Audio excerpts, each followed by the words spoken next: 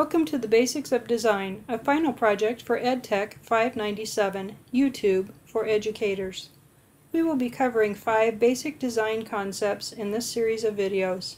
Proximity, alignment, repetition, contrast, and use of color. This is video 3, repetition. Repeat some aspect of the design throughout your presentation. It could be a font, a thick line, a bullet, a color, a design format, or anything else that the viewer could recognize as being part of a pattern. Repetition shows a consistency of design in a project. Taking the business cards we worked on in the alignment video, we can show that repetition can be shown with just one element, bolding a font. The bold repetition also helps unify the entire design. When you reach the end of the information, your eye will probably bounce between the two bold elements. The repetition ties the piece together and provides unity.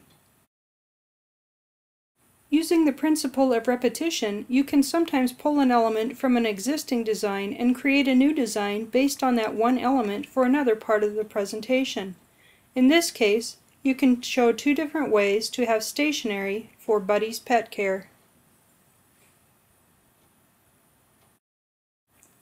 Repetition is a major factor in the unity of multi-page presentations. It should look obvious that the first slide, a middle slide, and the last slide tie together. Note that the text does not completely fill to the bottom of the page. All text need not align at the bottom if there is a consistent repetitive starting point at the top of the page.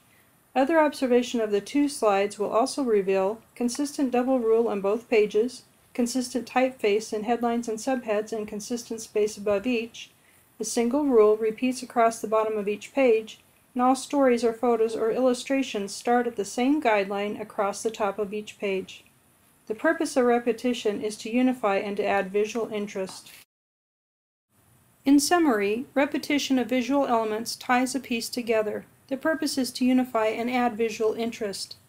Repetition is consistent. It serves as an accent to the text and illustrations that appear. This has been a 2008 Tigger production.